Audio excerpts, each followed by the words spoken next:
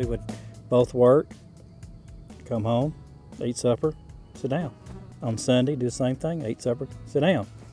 Had no giddy up and go. I mean, we had bicycles, but did we ever did we ever ride them? No, we didn't ride them. We saw these signs around church that said that there was going to be a class about running. Well, we just kind of laughed.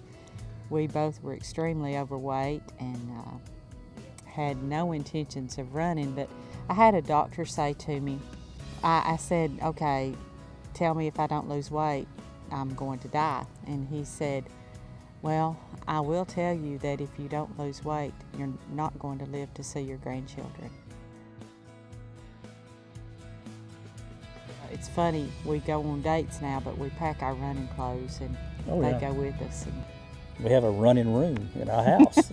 We have on the shelves. You know, running is a release, a release for her. It's a praying time for both of us. It's a very concentrated prayer time. You know, we have done a couple of races where, what's the shirt?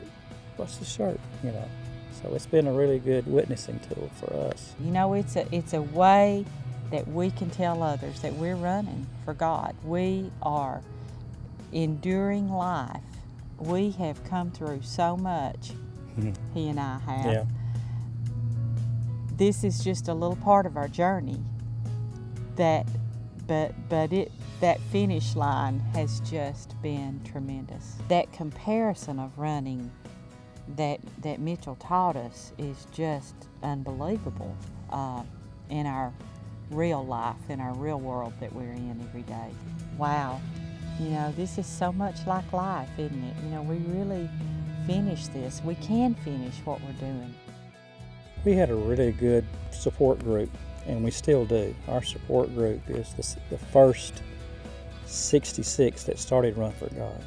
And there's a lot of us that still are running and supporting each other And praying together. and praying together. We love it. And we love it.